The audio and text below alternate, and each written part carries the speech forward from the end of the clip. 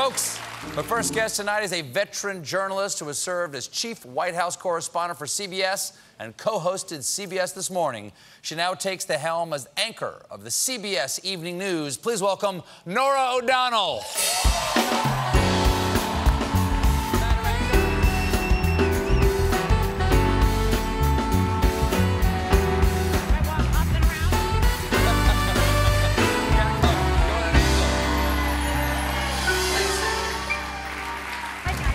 Welcome back. Thank you. Good to see you again. Congratulations on your first week. Thank anchoring you. the CBS Evening News. That's pretty heady stuff. But be honest, after seven years on the morning show, did you take this job just so you could sleep in? That was part of the calculation, yes, to be able to have breakfast with my children. it has to be, I know, I'm joking, but it can't be insignificant. that You get back on a human schedule. Well, you know, good friends with everybody at CBS this morning, but it is it is a bit of a grind getting up so early in the Yeah? morning. So now I get up at 5 a.m., which is considered sleeping in. Oh, oh. lazy, lazy bones.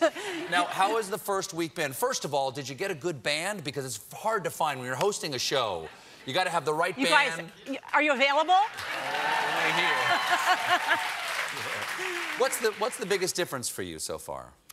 You know, it's a sh- it's 30 minutes, and so it's jam packed with news. And this is a legacy broadcast. two hours to 30 minutes. Yeah, to Wow. 30 minutes. So Yeah. it's kind of appointment television at 6:30. So if you if you don't have a lot of time, tune in at 6:30 p.m.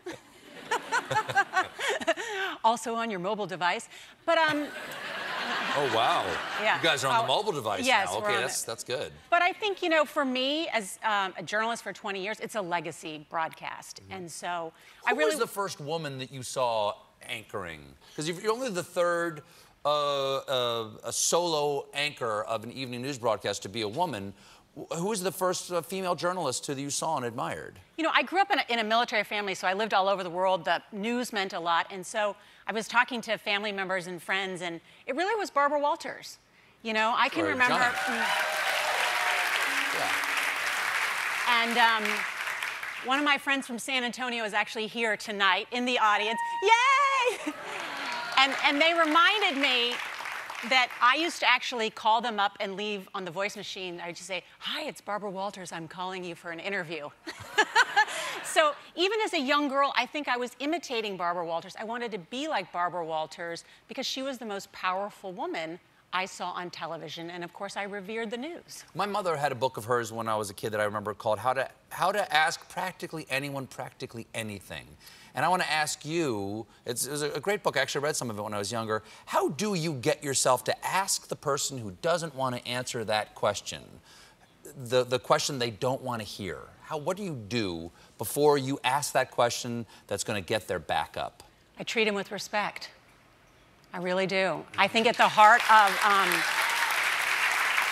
I think at the heart of great conversation and great relationships is trust and integrity. So I do tons and tons of research. I think 90% of getting the right answer is asking the right question. But if I treat someone with respect and then ask them a tough question, which you know I like to do, but do it respectfully, I can usually get a good answer. Well, this is the this this this news seat that you're in right now is the most storied one on television. This is the house that Murrow and Cronkite built. Yes. What does that job mean to you? Uh, it means an incredible amount, you know, and uh, I've been reading Walter Cronkite's uh, biography. He held the post for more than 20 years, was known as the most trusted man in America, the most trusted voice. And one of the things he said was journalism is what we need to make democracy work. And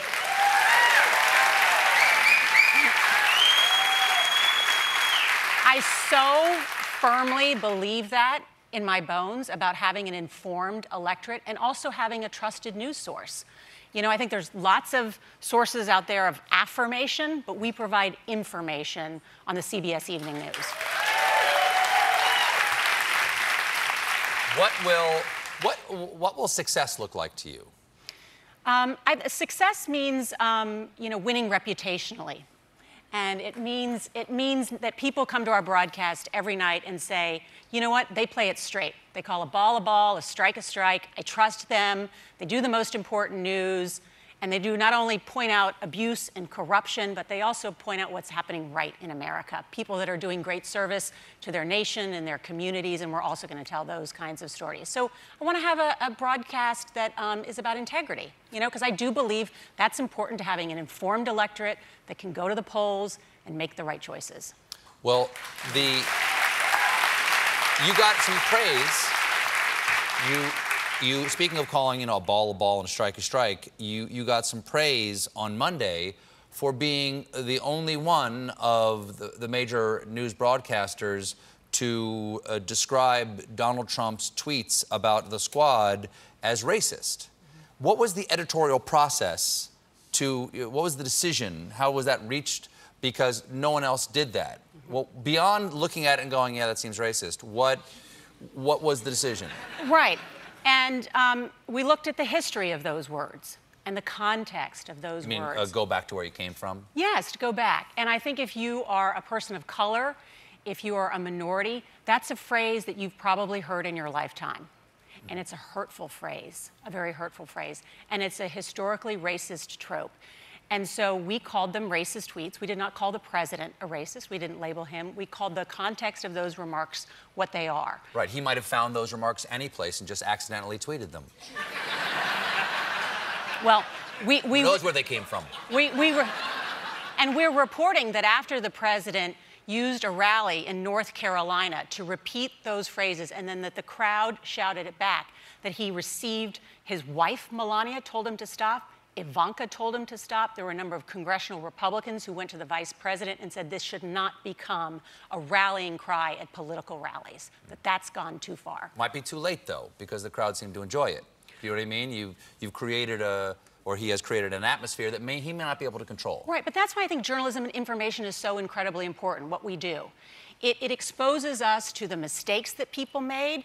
It has it causes other people to hold them accountable. All of that information is incredibly key. When you sign off the show, mm-hmm. um, so far your sign off has been, and that is the CBS Evening News. Mm-hmm. Mm-hmm. And of course, Cronkite had his famous, and that's the way it is. And that's the way it is. And people search for the way they say goodbye. And I, I understand we, ha- we have some of the choices that didn't make the cut for your sign off here. and I was, I, was, I was hoping that you could uh, take us through some of the things that you decided not to say at the end of your broadcast. Oh, how did you get a hold of these? Um, we made them up, but. Um, these I cut these, but those were those right there, right there. would you mind uh, giving those a shot right there? Just imagine you're saying good night. Uh, you're there. It's camera three. You're you're a fine broadcaster. Okay. Right okay. Here's this the, is the from first, Stephen first, Colbert. These, yeah. these are the rejected uh-huh. sign-offs mm-hmm. that Norah right. O'Donnell did not want to say. I'm Norah O'Donnell, and you can't make this stuff up, folks. okay, would have been good. Would have been good. This one. Good night, and good luck with all that.